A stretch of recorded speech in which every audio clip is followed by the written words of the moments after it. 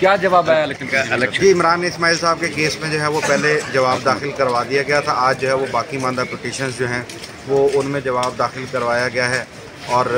आज जो है वो एफआईए के वकील साहब ने बताया कि भी वो अगले स्टेप पे मूव करना चाह रहे हैं। यानी कि वो वो लोग जो है वो क्वारसिव एक्शन लेना चाह रहे हैं मगर चूँकि हुक्म इम्तनाई है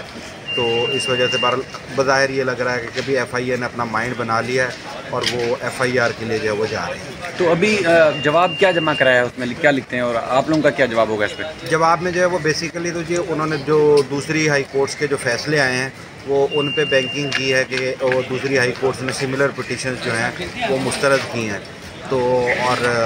जो है वो हम कानूनी एक्शन लेना चाह रहे हैं तो लिहाजा इस कानूनी एक्शन को जो है वो नहीं रोका जा सकता। इस पर तो हम अपना जो है वो हम जवाबुल जवाब जो है वो जमा करवाएँगे जिसमें हम बताएँगे कि भाई ये सारा सारी चीज़ें जो है वो बदनीयती में मबनी हैं और इससे पहले जो फॉरेन फंडिंग केस में जो है वो ये चीज़ डिसाइड हो चुकी है और डिसाइड होने के बाद वहाँ पे जो है वो सज़ा भी हो चुकी हुई है। लिहाजा में किसी दूसरे फोरम पे सज़ा नहीं हो सकती। तो आज अदालत ने क्या